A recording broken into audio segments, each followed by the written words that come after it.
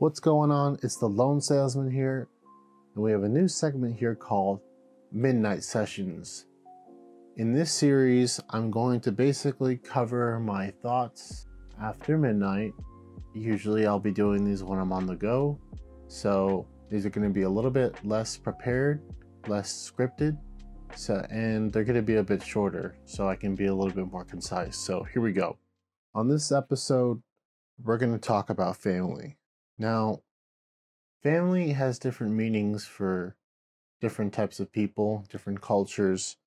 Typically, it's people who you consider that you love. Sometimes they're not people you love, but they're related to you anyway. It can be a typical mother father, it can be biological parents, your grand you know your grandmother you know whoever's closest to you like when we're talking about an immediate family people who raised you, that's who we typically think of. But sometimes family extends past that, such as friends, pets, people who you spend your life with, whether it's romantic or plutonic. The reason I wanted to talk about this is because lately I've been thinking a lot about this, especially after having a newborn. I'm thinking to myself, wow, now I have a family. But it's not like I didn't have a family before. I've always had a stable family, you could say, for the most part. A brother, a sister, two parents. That's just about as normal as it gets, right? Being the middle child can be troubling sometimes. As everyone knows, usually the middle child is the, not to say neglected one, but uh, the older one and the younger one usually get a little bit more attention, whereas the middle one kind of just fits in the middle. So, what I wanted to get from this is that now that I have my own family separated from who raised me, I have my wife, I have my daughter. I've just been thinking about how important it is to me and how my life has just changed so much the trajectory of my decisions and my priorities are way more in line with thinking of them rather than my self interest. The good thing is, if you have people who can support you, then it's easy to make decisions that might benefit you and them. It can be difficult, however, if, let's say, you want to go out with your friends or you want to see a certain event, you want to practice a certain thing, spend time on a certain whatever hobby, but you just can't do that. Maybe you need to focus on spending time with the kids. I mean, a baby in general, you just it needs so much love and attention and attention to detail. So many things you got to look out for. So it's really hard to multitask or knock out different things while you're watching the baby. So, on the other hand, there's a lot of family dynamics that believe that whoever's making the money is the person that has the most free time outside of their work. I do find this appealing. I have to disagree. I typically want to support my family in any way possible, whether I'm free or not. And at the moment, I am the one uh, working for the most part. And my wife currently is unemployed.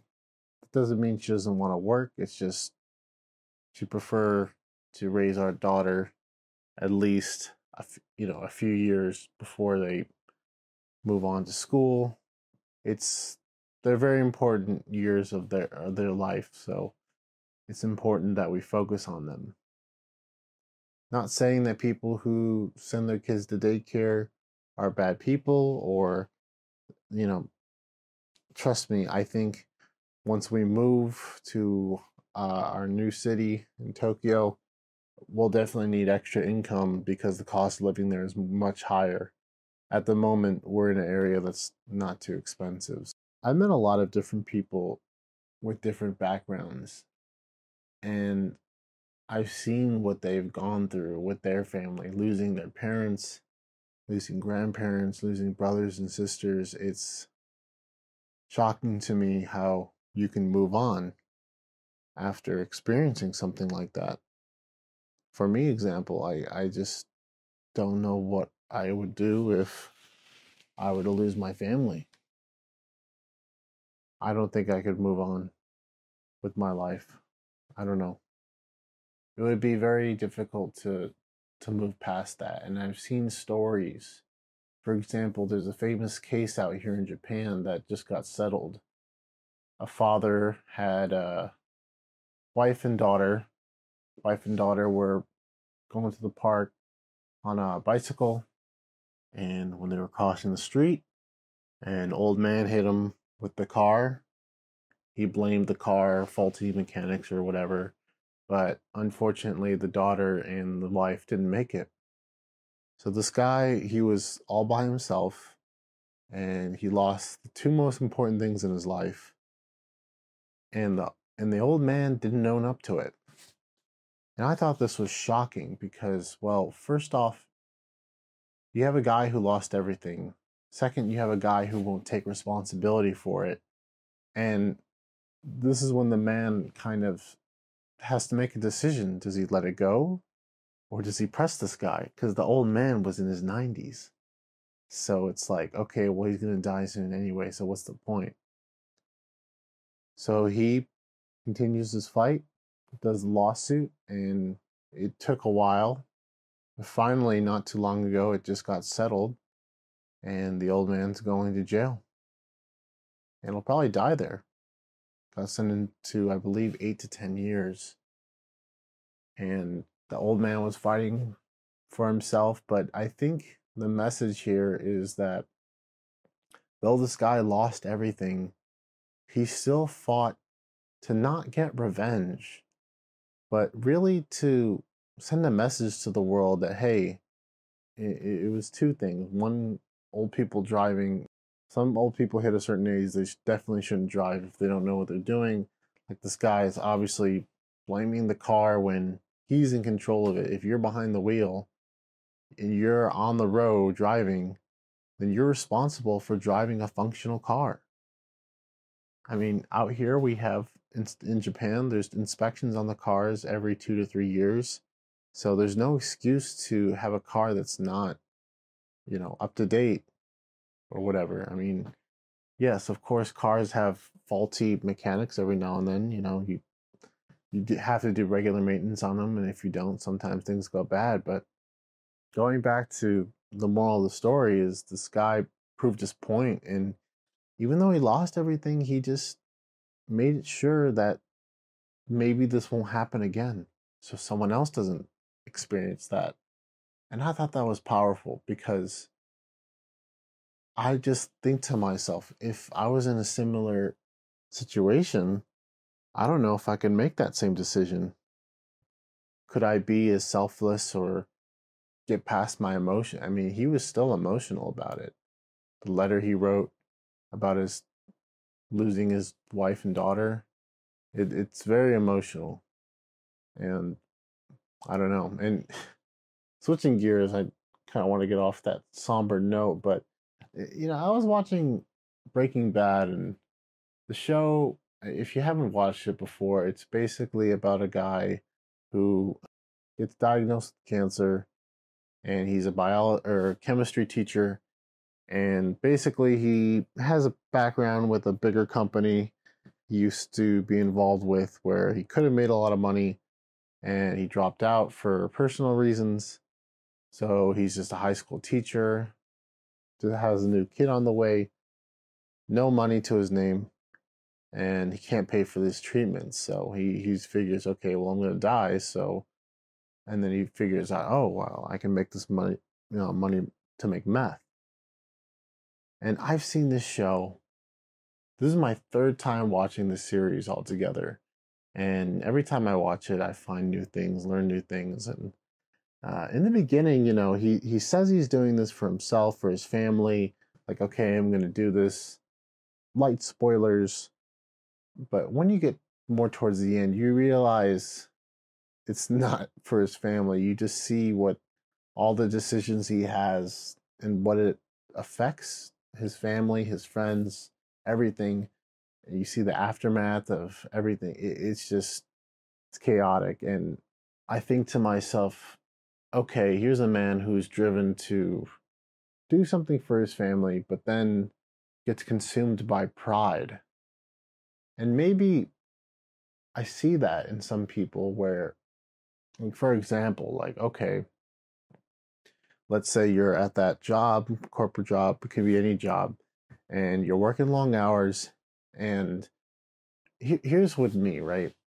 When it comes to working, any job, I understand that you do need to put in the time and the effort so you can get more money, promotions, whatever. But at the end of the day, who are you doing it for? Are you doing it for yourself? Are you doing it for your family? Are you doing it to provide? So, at one point, when do you take that step back? Like, hey, I need like at least, okay, if I'm working 40 hours a week, that's fine. Anything more than that for me, honestly, I mean, if you're working 60 hours or more, that that's crazy to me. I I don't I need that time with my family for myself too. Granted, the justification could be well, if I grind now, I could retire early or we'll have enough money in the future. You're like, "Hey, I'm doing this work for, you know, but your family sees that they see you're working hard, they see you making money, but they still need you. Right? What's the point if you're working all this time and you just never get to see them? When I was in the US Navy, eh, I saw this so many times. I saw people, they would go on the ship nine months, three months, two months deployment. You know, some people would just do an entire tour, leave their family behind uh, and then they would go by themselves over to Japan or different country, and it's just crazy to me that you know they decided, hey, I'm going to leave my family for a couple years, or I'm going to work this job where I only get to see them like 30, 40 percent of the time.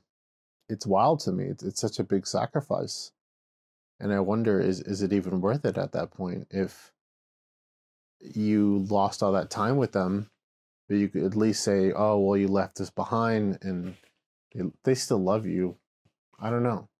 I think if it were me, I still choose the time. And currently, my job is lucrative enough to where I can say that I will be leaving something behind and taking care of them here and throughout, but at the same time, having time for them. I think at the moment, though, the one thing I am sacrificing is maybe personal time to myself, which I think I get plenty of versus, you know, my wife. But working on top of that, still, it's like I'd rather take that sacrifice than working even more, seeing them less. I mean, now that I'm working at home, it's a lot better. Uh, the dynamics can be a little chaotic at some points, but I still appreciate being with my family most of the time.